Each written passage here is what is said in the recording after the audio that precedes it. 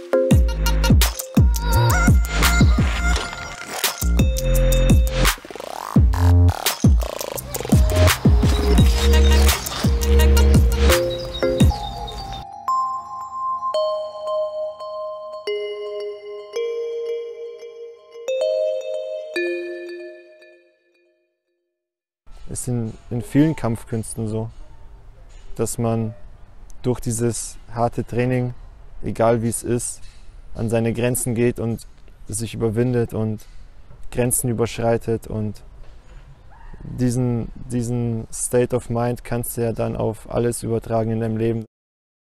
Was man da in der Schule kriegt, die Möglichkeit, diese Ausbildung zu machen, das kannst du nicht mit Geld kaufen.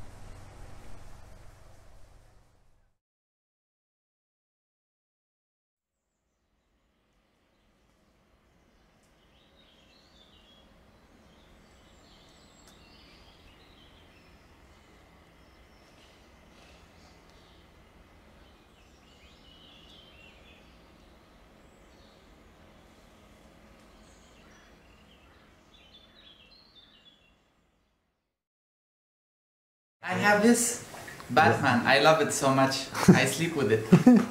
Look, I can fly, and then I have also an enemy of him. Oh, This is Robin.